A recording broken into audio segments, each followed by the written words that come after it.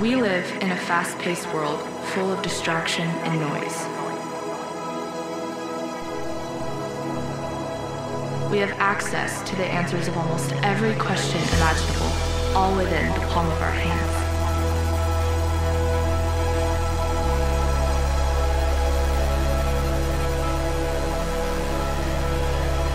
With so many voices competing for our attention, how do we know which one to listen to?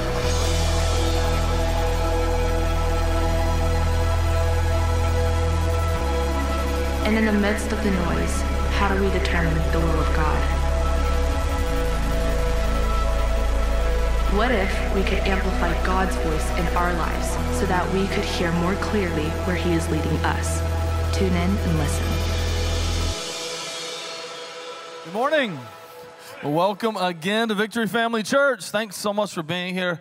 Uh, how awesome are baptisms? It's just, oh, so cool. And I, I love baptism. I love what they I love what they represent. I just like everything about it. It's just it's incredible. It's one of my favorite Sundays just because we get to celebrate all that God has done and, and continues to, to do. Uh, before we jump into the message, I want to just remind you Wednesday night uh, we, we have a Bible study, a book study, um, and we're going through a book written by a guy named Mark Batterson called uh, Circle Maker. Look, it is an incredible book. It challenged my life immensely, uh, like immensely. Like like one of the best books I've ever read in my life. And so Wednesday nights at 6:30 in the in the in the venue, and at 5:45 there's food for the whole family. And so, and then at 6:30 there's programming for the whole family. So uh, adults are in the venue, stu- uh, youth. I say students still. It's youth. They changed it. It was youth, or it was youth like in the 90s, and then students was cool. Now it's youth again, but now it's youth with no vowels. It's just Y T H. So whatever. So, and then Incredible Kids Ministry on uh, Wednesday night as well. So I love to see this this Wednesday. Um, I, have been a senior pastor for seven years now, and then I was a student pastor for about about 13, or student or executive pastor for about 13 years. And through the entirety of almost 20 years of ministry, the question I get more than any other question is, how do I hear the voice of God? And then the, the, the, second question, it's a very similar question, is how do I know what God's will for my life is? And the reality is, if we can really get good at the first one, if we can really get good at understanding, knowing, discerning the voice of God, then the second question takes care of itself. Like if I know when God is speaking and what He is speaking, then I'm, I'm always going to know what His will is for my life. So over the next four weeks, we're going to kind of unpack how do you prepare yourself and then how do you actually hear and then what do you do when you hear the, the voice of God? How many of you have ever had a like a satellite dish at your house? Anybody ever had? You've ever had, come on? Raise your hands. Raise your hands. Come on. Okay, so I just got fiber at my house.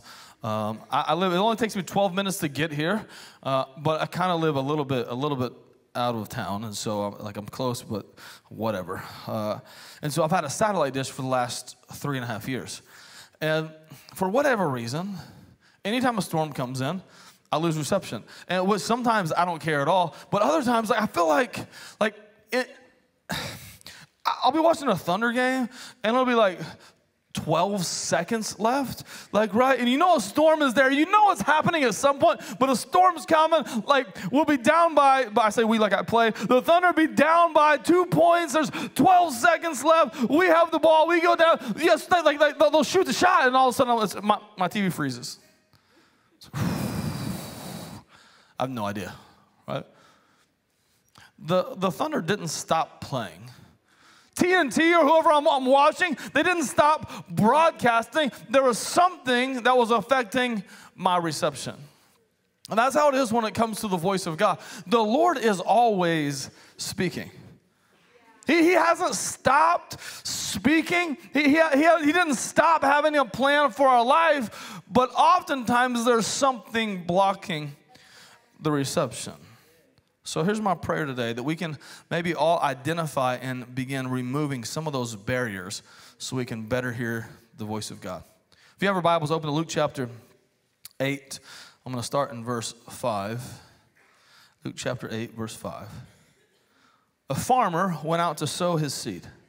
As he was scattering the seeds, some fell along the path and it was trampled on, and the birds ate it up. Some fell on rocky ground, and when it came up, the plants withered because they had no moisture. Other seed fell among thorns, which grew up with it and choked the plants. So other seed fell on good soil. It came up and yielded a crop a hundred times more than was sown. So this is simple agriculture. I've got these uh, flower seeds, moonflowers. Anybody have moonflowers at your house? Anybody? Two of you? Cool. Yeah, see, it's great. I would love to plant some moonflowers here. London, come here, help me real fast.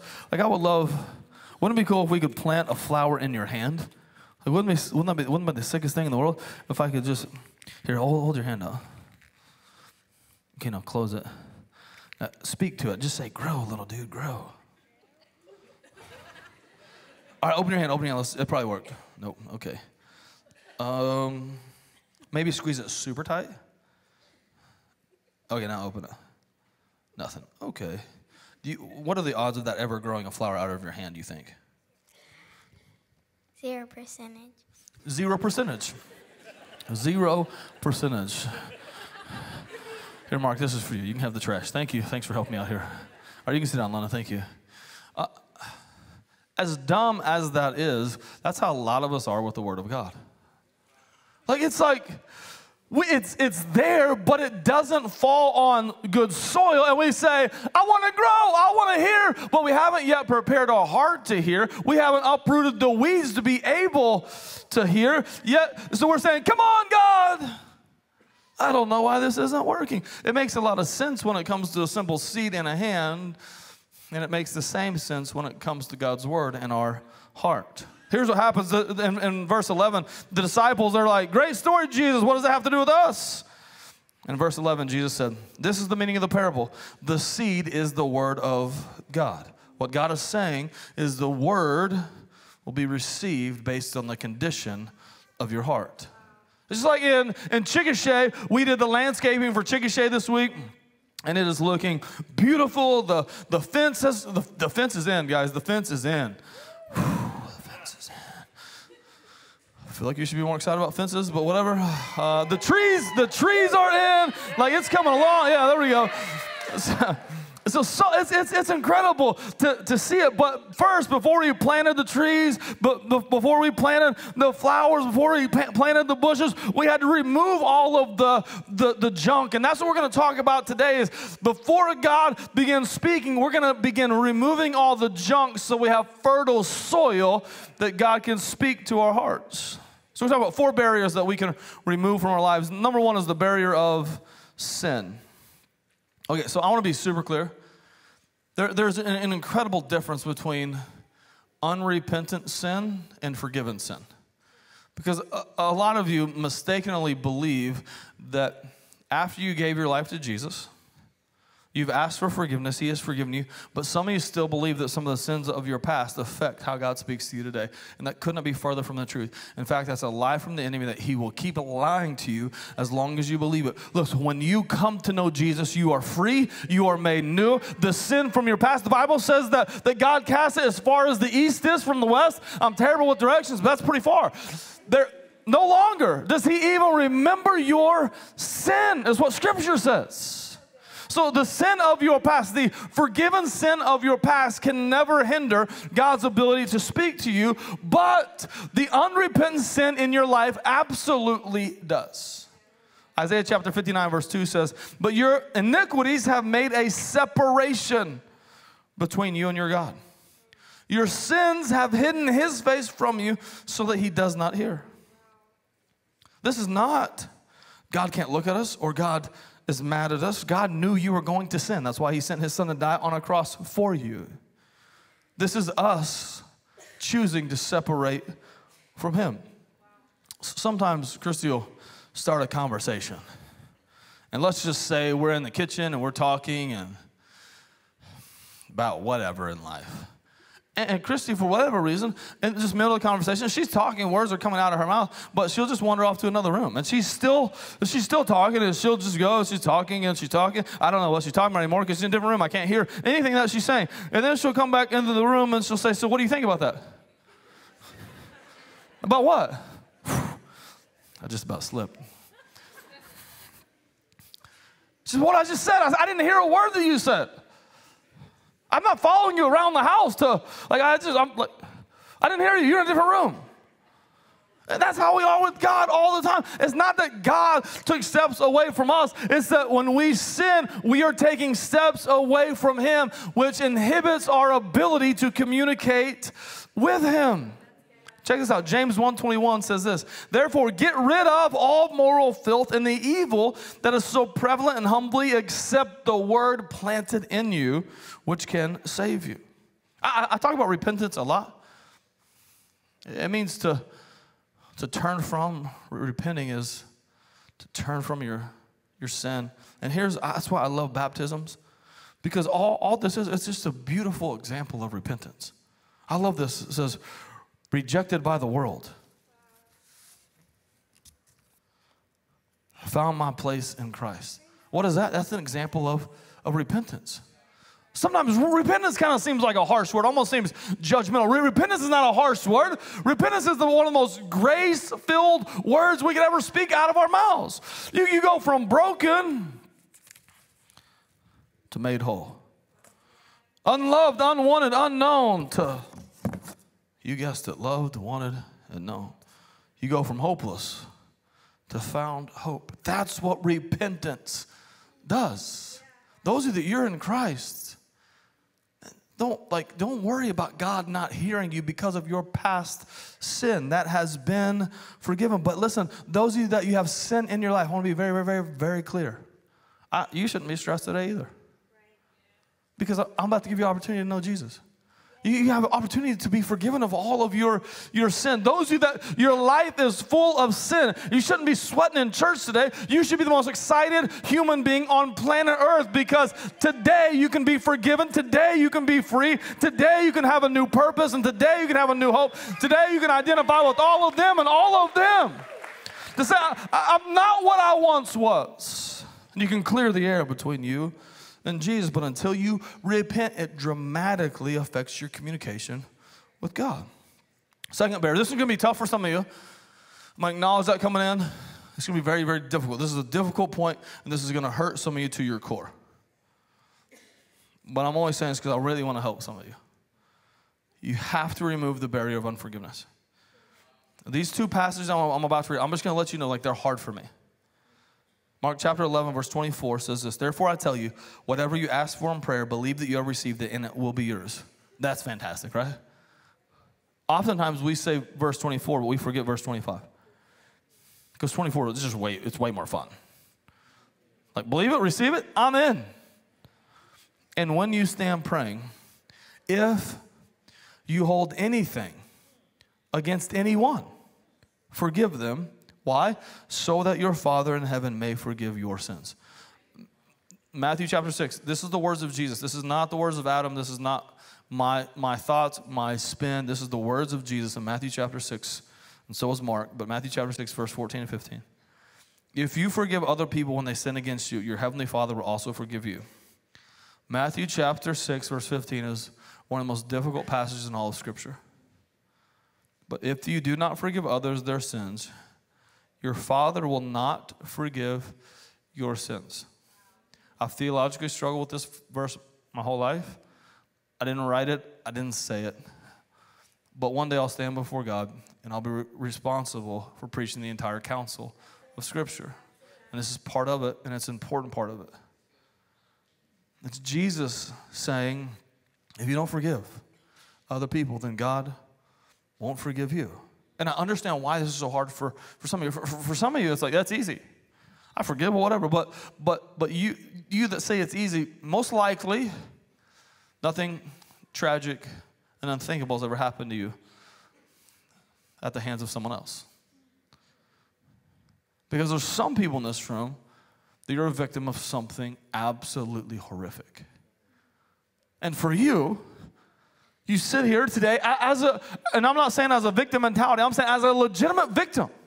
Something awful happened to you, and now all of a sudden I'm sitting here saying, Jesus says, if you don't forgive them, what, what do you mean I got to forgive them? I didn't do anything wrong. It was them who did something to me. Why would I ever forgive them?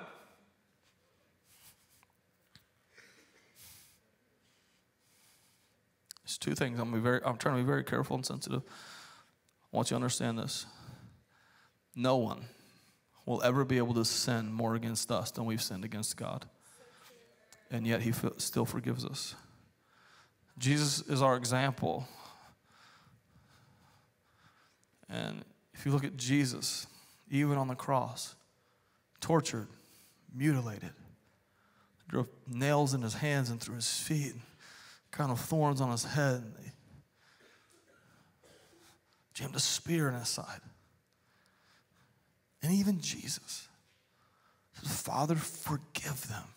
They don't know what they're doing. We forgive others because He forgives us.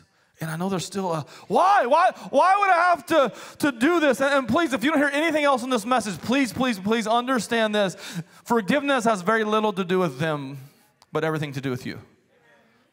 It's, it's all about you. Jesus loves you. He wants you to be healthy. He wants you to be whole. He wants you to walk in your destiny and your purpose. And you cannot do that if you're harboring unforgiveness and bitterness in your soul. Jesus wants you to release it.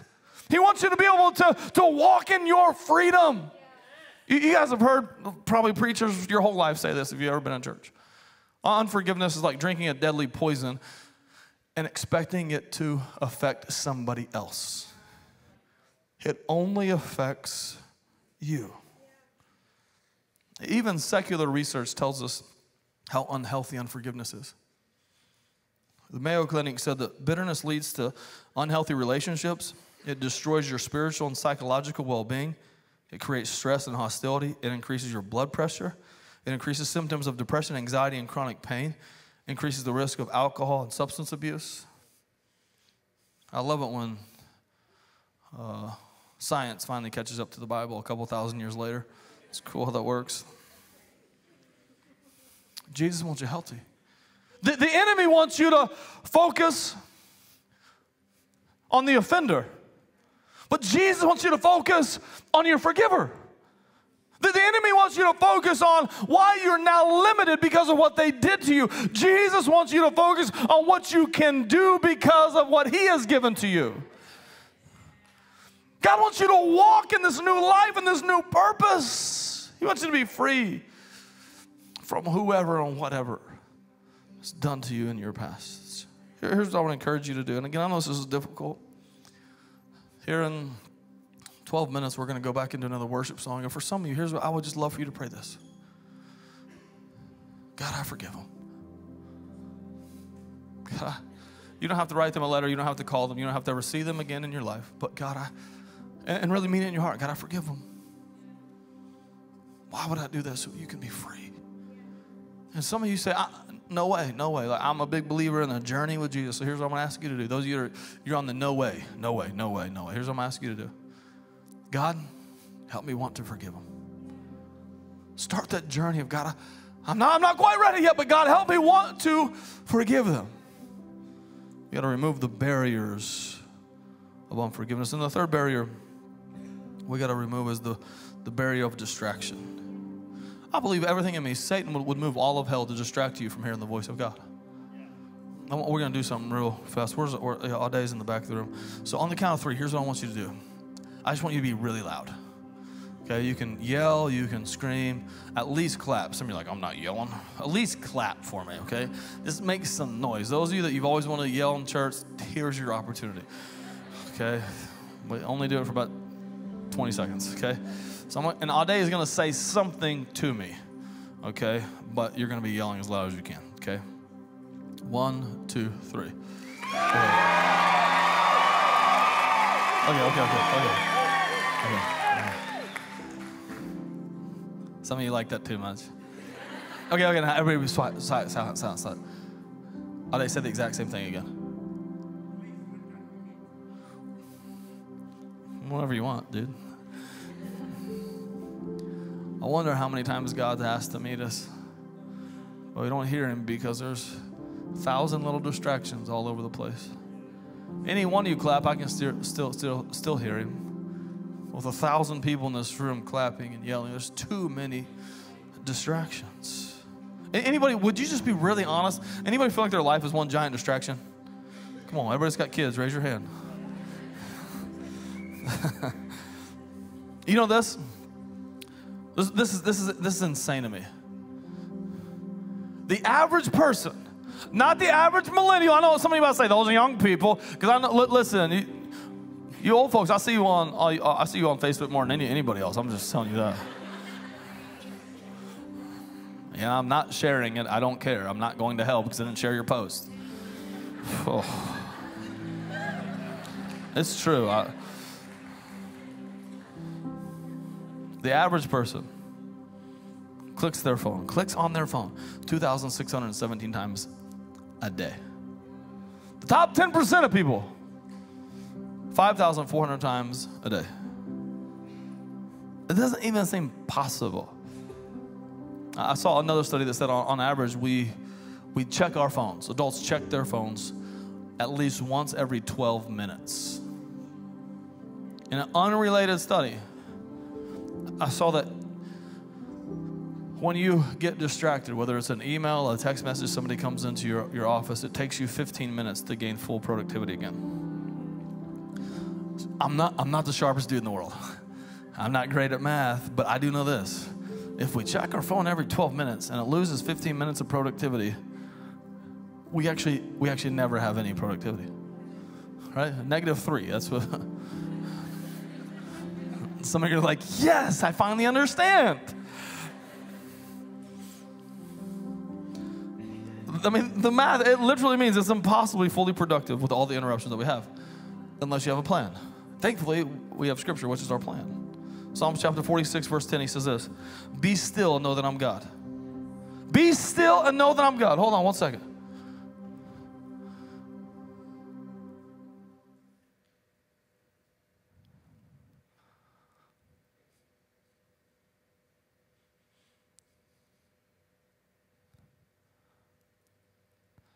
Even 10 seconds is weird, isn't it? It's uncomfortable. You can get your things, dude. It, it, it, just it doesn't feel right. That's how our, our brain is conditioned to something. It's got to be something, got to be something, got to be got to be something. Stillness is a foreign concept to us now. Quiet we don't get. He said, Be still and know that I'm God. I will be exalted among the nations. I will be exalted in the earth. I love this. The King of Kings, the Lord of Lords will be exalted. What a great verse. And I love in this verse, it starts with stillness.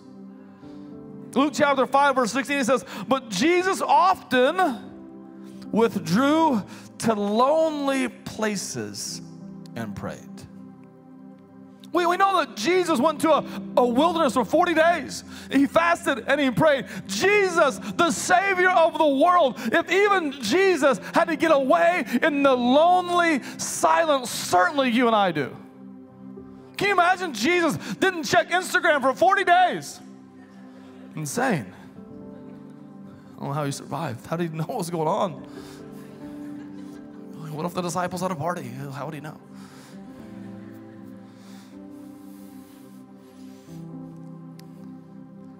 Here's, here's what I'm going to encourage you to do create focused times and distraction free zones in your life. Like, if you don't have a plan, you will always be distracted. I, I, I can't give you my plan, my plan works for me. But you have to have a plan. You have to have a moment every day, and by moment I mean minutes, several, 5, 10, 15, 20, 30, where distraction is impossible.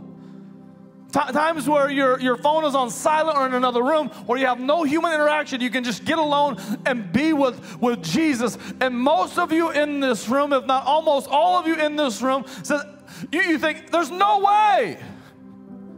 Why? Because you're too important? Somebody's going to need you in that 15 minutes you want to spend with Jesus? Somebody more important than, than, than God needs you? The concept of alone with Jesus is so foreign, and yet we wonder why we can't hear the voice of God.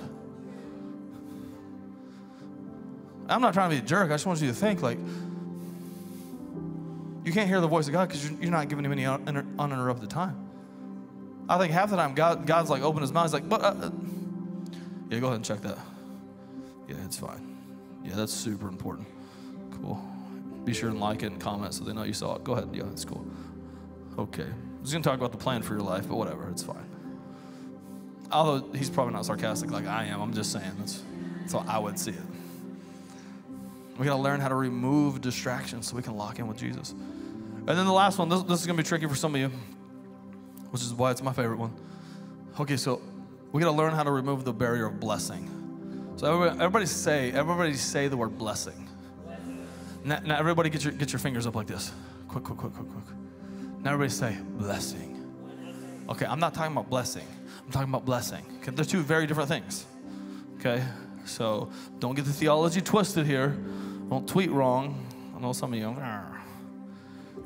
Blessings from God. Listen to this. Blessings from God are never a barrier. Never. But what if many of the things that we think are blessings from God aren't actually blessings at all and they're not from God? What if? What if the enemy would give you the riches of the world to distract you so you didn't need to depend on God anymore? What if? What if the enemy would give you all the things that you prayed and fasted and got alone with God about? What if the enemy gave you those so you stopped praying and fasting and getting alone with God? It's weird to think about, huh? People all the time. Man, I got this promotion and got this job opportunity in a different state. Not that there's great churches in every state, but it takes them away from the place that they found God. It takes away from their support system. Takes away from all their all their friends. All their the, takes them away from their small group. Takes them away from their place that they serve. And six months later, I get a call. I get an email. Their life's falling apart. It wasn't a blessing from God. Many times, what we call the blessed life is actually the deceived life. I want you to think about this. Those things that you think are blessings, did they bring you closer to God or farther away? God will not give you a blessing that's going to take you farther away from Him. Some of you, my, you said my, my lake house, my boat, my jet ski, my four wheeler, my kid's athletic career, those are all blessings from God. Listen, my, my son is currently playing a soccer game right now. He'll be at the one o'clock because we make it a priority that he's here at some point during the day and goes to church. I'm not saying that lake houses and boats and jet skis are bad. In fact, I hope all of you have them. And let me borrow them at times. I'm just saying. Just kidding. I don't want your crap. But honestly, I hope every one of you is filthy rich. And, and, and you use what God has given you to build his kingdom. I'm not, I'm not preaching a poverty gospel. I'm just asking you to, to think about are the things that I thought were a blessing drawing me closer to God? And if the answer is no, then I would reevaluate if that's a blessing at all. I wonder, I wonder if anybody's in this room, you got so blessed you stopped talking to Jesus.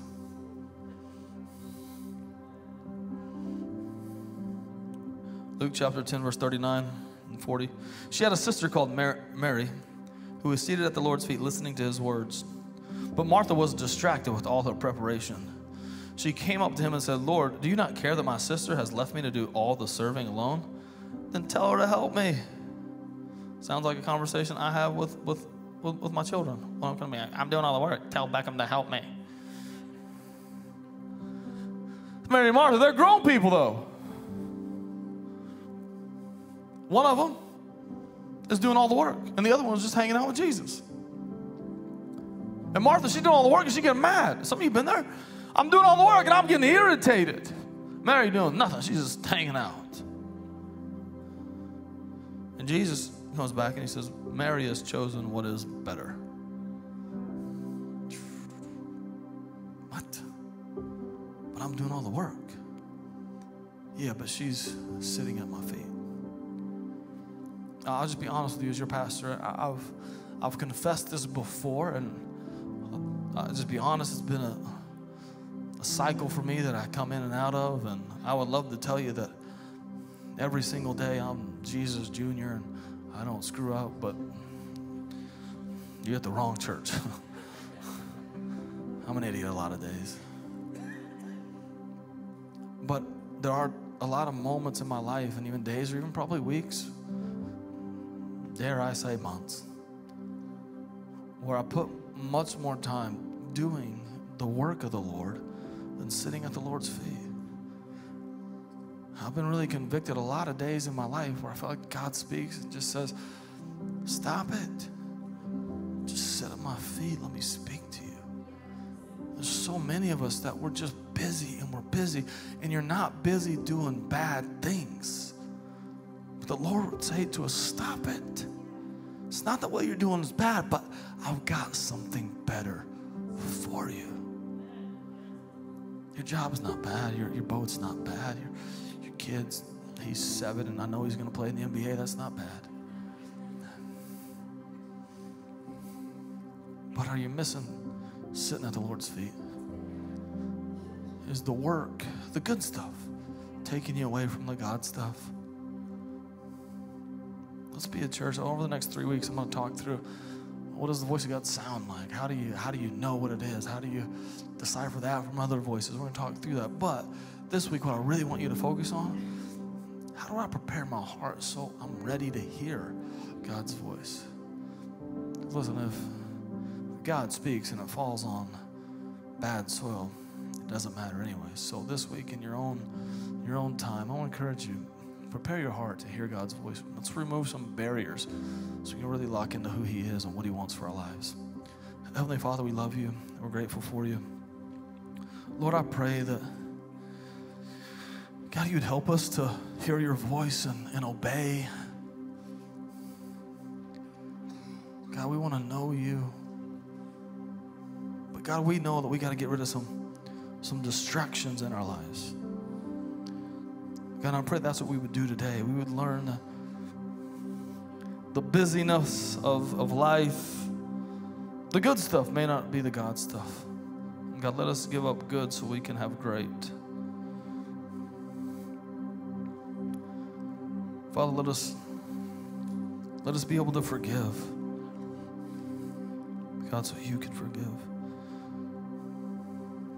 So we can walk in freedom. Heads bowed and eyes closed across this room, nobody looking around. If, you're here and you would just say, I, I got sin in my life. I got unrepentant. I'm not talking about in your in your past that you've already asked God to forgive you of.